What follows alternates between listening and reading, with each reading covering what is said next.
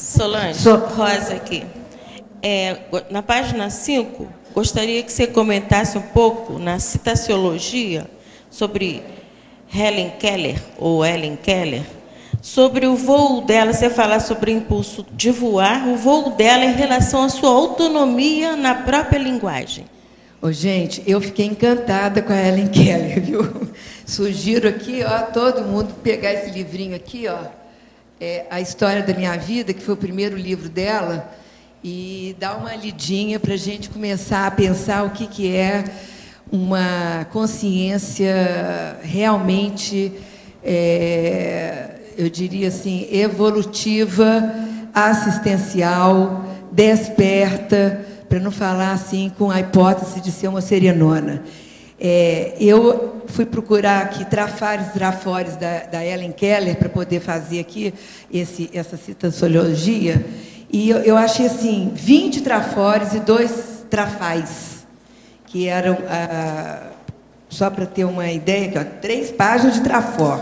Era economia, é o trafal dela, mas ela, ela não lidava muito com dinheiro. Cega, surda, né, gente? Então, só para parênteses. Então, esse é o trafal, mas foi o máximo que eu conseguia. E o senso de direção, cega e surda. Então, ela não tinha senso de direção, às vezes. Foi o que eu consegui chegar. É, ah, ela está aqui comigo, né? Está junto aí, ó.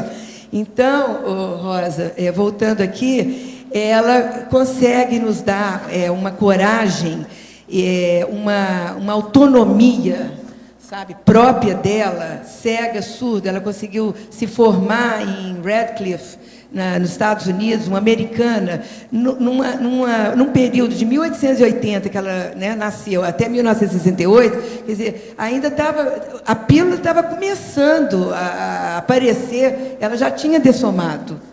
Então, ela, é, tudo para ela, é, quanto mais é, pedágios tinha, dificuldades que ela tinha para se formar, para ser uma pedagoga, para falar, aprender a falar, mais ela tinha coragem. Então, o que dava para ela, é, é, a poliglota aqui, ó, quatro línguas, muda, surda, aos 19 meses. Então, vale a pena a gente ver que a gente não adianta a gente engatinhar se, o, se o nosso, a nossa meta, a nossa proex é voar.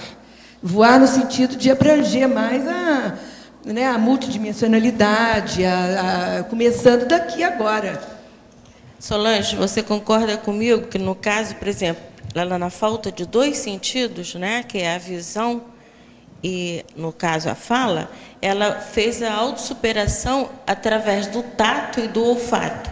Então ela, ela o sentido de direção dela, ela alcançava através do vento no olfato, pelo olfato e também é, pelo tato. Ela se Exatamente. localizava onde ela se encontrava, desenvolveu. né? Agora, uma Entendeu? cerda surda muda, escreve 14 livros, o que nós estamos fazendo aqui, gente? Eu estou falando isso primeiro para mim, né? Eu estou falando, pensando alto. Poliglotismo, falou quatro línguas. Falava francês. Ah, se vocês irem para o YouTube, vocês vão poder ver as, as, as palestras que ela deu, é, é, reais, né? Ela dando palestra é, com aquela dificuldade de falar em, né, a língua materna dela, que era o inglês, mas é uma, um- uma mulher assim grande, ela fica grande, ela, a energia dela expande no próprio vídeo. Está no YouTube, pega lá Ellen Keller que dá os vídeos de algumas, né, de algumas conferências que ela deu. E, e- e memória incrível, assistencialidade, uma pessoa que chega e fala assim, aos 11 anos, não, em vez de você me dar um cachorro, que ela adorava animais, é, dá, dá o cachorrinho lá para o Tommy, que ele, ele é tão brilhante e alegre como a minha, e ele vai ajudar, e vai ajudar a trazer luz para ele, que era um menininho também é, cego. Então, ela mesma abria mão aos 11 anos. E o, o guarda chegou uma hora lá, matou o cachorrinho dela, que ela tinha de estimação, é, não sei porquê, se ele se enfesou com o cachorro.